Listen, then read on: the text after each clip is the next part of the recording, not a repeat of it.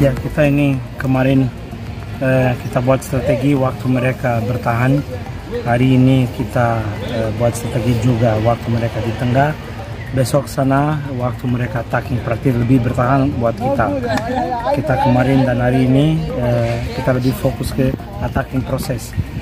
Oke, kita mau tutup mereka terus buat attacking proses kita. Itu yang persiapan untuk besok lawan Bayangkara. Iya, iya, iya. Saya kira ini pertandingan besok ada hasil positif. Itu harapan kita semua kan. Kita tidak bisa tahu apa yang bisa terjadi ke depan, tapi harapan lah ada. Eh, mudah-mudahan kita dapat tiga poin sana. Berapa pemain coach yang dibawa lawan Bayangkara? Eh, kita bawa seperti biasa dua-dua.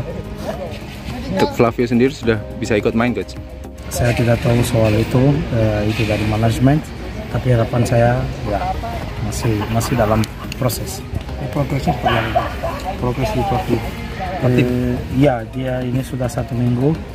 Eh, biasa adaptasi kalau ada jet lag, kalau ada itu biasa 10 hari. Tapi kelihatan dia sudah mulai eh, apa eh, kebiasaan dengan waktu sini di Indonesia kan. Terus eh, kalau kita lihat dia sudah mulai cocok dengan tim, ya mudah-mudahan nanti besok dia bisa bisa kasih hasil positif buat kita dia dan tim-tim dan kawan-kawan kan. Kalau melihat karakternya si Flavio seperti apa gitu? Dia cocok sa- satu pemain depan atau dua pemain depan? Atau?